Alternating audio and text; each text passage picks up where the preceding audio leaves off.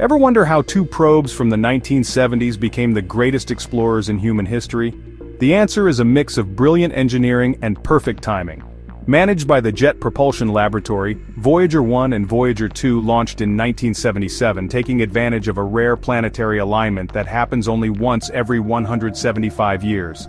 This Grand Tour alignment allowed them to use gravity assists, slingshotting from one giant planet to the next. Under the guidance of scientists like the legendary project scientist Ed Stone, who served for 50 years, the discoveries were staggering.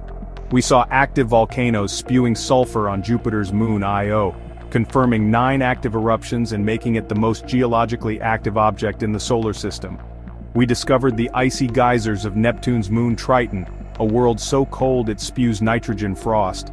These missions completely rewrote planetary science textbooks, all accomplished with custom-built computers that had just 69.63 kilobytes of memory, less than one millionth of a single photo taken by a modern smartphone.